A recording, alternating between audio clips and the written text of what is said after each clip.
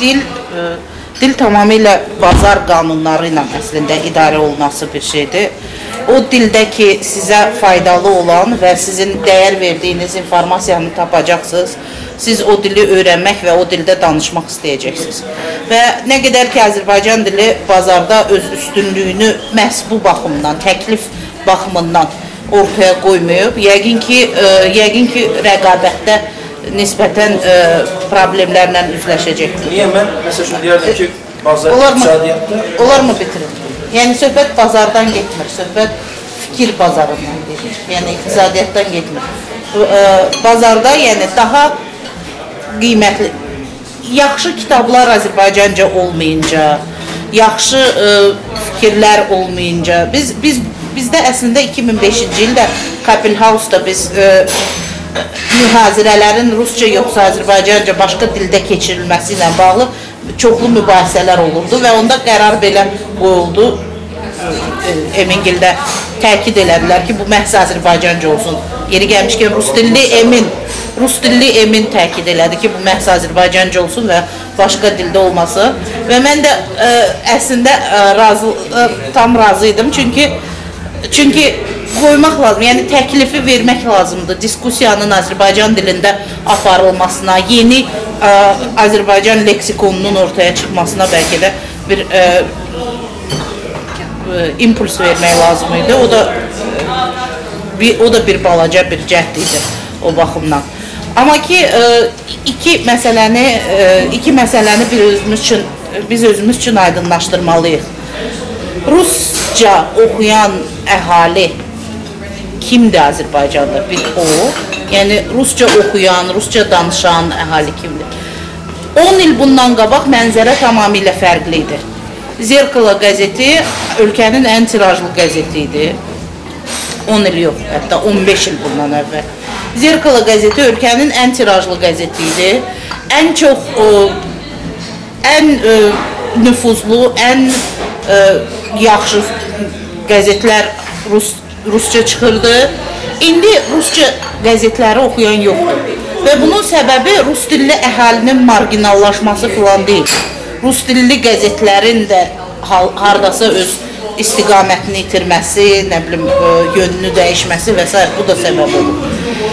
Amma indi biz rusca oxuyan əhali deyəndə həm də o adamları nəzərdə tuturuq ki, bu təkcə o adamlar deyil ki, onlar gündəlik həyatlarında və məişətlərində və e, ictimai həyatlarında sadəcə rusca danışırlar.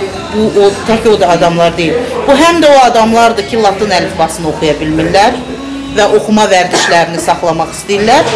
Bu həm də o adamlardır ki, bu həm də o adamlardır ki, özlərinin kültür fərqlərini dil fərqi ilə ortaya qoymaq istəyənlərdir. Yəni ki, bu gün kültür fərqi nə e, sosial statusda öz əksini tapmır, nə e, insan, yəni in, o insan o elita özünü adlandırmaq istəyən və yaxud özünün fərqini ortaya qoymaq istəyən insanlar, onlar ə, sosial statuslar, ə, dövlət və s. və s. bunlarla ə, fərqləndirə bilmirlər özlərini. Bu çox yayğındır.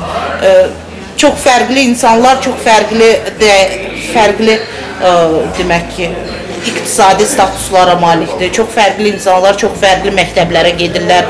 Çox fərqli insanlar fərqli ə, davranış göstərirlər. Yəni tamamilə qarışıb hər şey ə, cəmiyyətdə və bir ə, məsələ tapırlar ki, ö- urbanistik keçmişlərini vurğulamaq istəyən insanlar var, bir qrup insanlar. Onlar rusca danışaraq edirlər. Bu cür insanlar Sovet dövründə də var idi.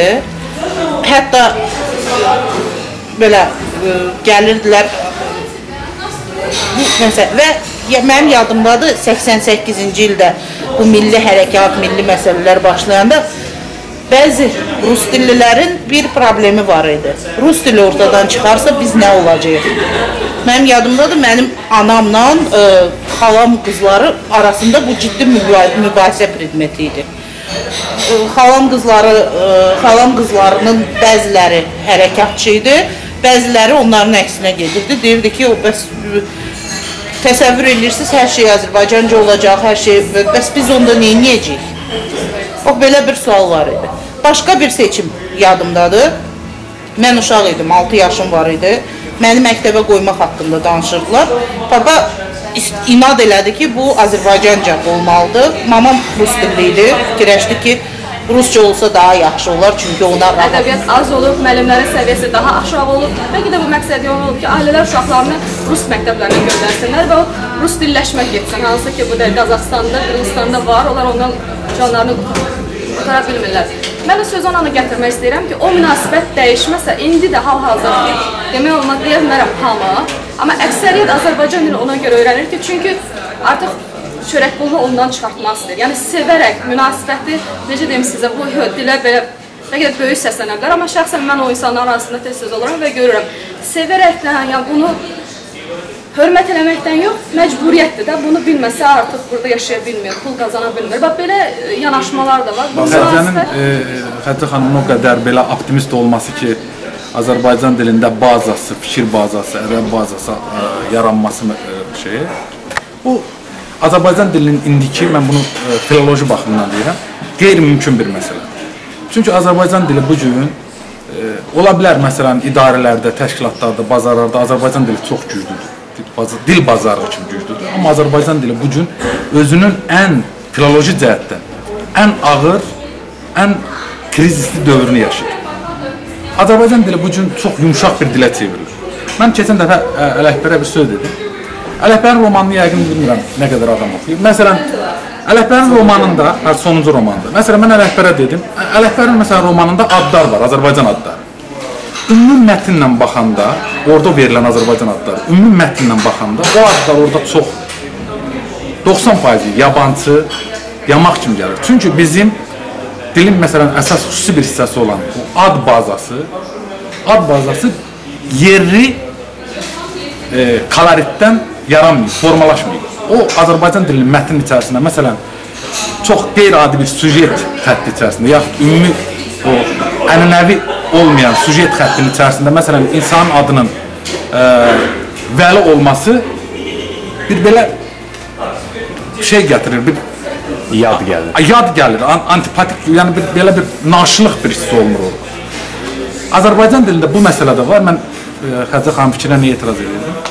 Azərbaycan dilinin indiki bazası əsasında heç bir ciddi əsərin, ədəbi əsərin yaranması mümkün deyil. Bugünkü Azərbaycan dili Azərbaycan ədəbiyyatını yaratmaq üçün əsas vermir. Yəni mən burada başa düşürəm, ideoloji cəhətdən, ictimai siyasi baxımdan biz rus dillilərlə, filan mən o fikirlərlə razıyam. Amma Azərbaycan dilinin öz problemini həll eləmədən öz problem. Birincisi bu dilin adı yoxdur. Dünya tarixində bəlkə də yeganə bir dildir ki, bu dilin adı yoxdur.